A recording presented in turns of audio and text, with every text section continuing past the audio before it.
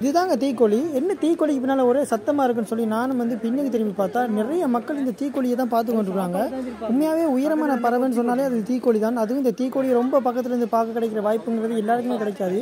அது மட்டும் இல்லாமல் இந்த தீக்கோழி எங்கே இருக்குன்னு சொன்னால் இலங்கையில் தெய்வல ஜூவில் இருக்குது